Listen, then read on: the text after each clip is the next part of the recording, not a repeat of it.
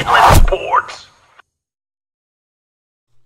Hey, what's up, guys? It's Pep Fernandez from the Inland Sports Show. Let's take a look back on week eight of the high school football season and announce our Inland Sports All Stars. And it was another great week with great performances, especially from quarterbacks and running backs. So without further ado, let's do this. So in Norte Vista running back Brian Temple, he and uh, Richardson, big one-two punch for the Braves. He had 277 all-purpose yards in a nice win this previous week. Three touchdowns, including returning the opening kickoff to the game for a score.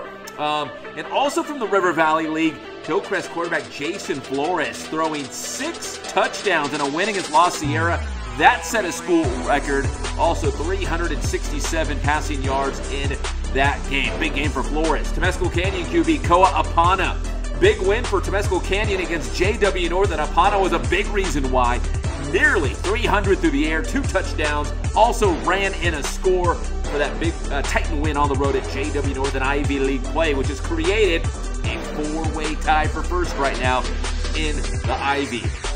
To Chaparral, uh, quarterback for the Pumas, Karan Tyler, 228 and three touchdowns passing, and 220 rushing yards, and three more touchdowns on the ground, helping Chaparral pick up a huge win against Murrieta Valley. So the Pumas might be the hottest team right now, beating Vista Murrieta, then beating Murrieta Valley. Uh, Pumas playing some really good football. And finally, Aquinas running back JoJo Solis, just nine carries, but he had 117 yards and three touchdowns for the Aquinas Falcons as uh, they beat up on Valley Christian. And now this sets up the big game in the Ironwood League coming up this week. There's Caden Williford going back to the house of the Falcons, getting an easy win against Valley Christian. But now this week, game in the Ironwood League as the Falcons will take on undefeated Ontario Christian. And the winner of that game,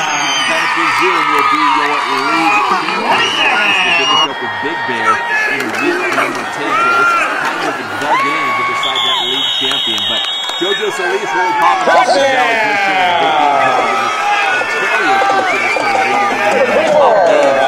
That's not the rule. Ronnie. already time. All right, uh, that's going to do it for this video. Thanks for watching. Congratulations to our Week 8 Inland Sports All-Stars and coaches. Uh, make sure you continue to send us your stats each and every week. We've been getting a lot of great stats. We really appreciate it. In fact, it's making this decision harder and harder every week because we've been seeing so many great performances on the gridiron.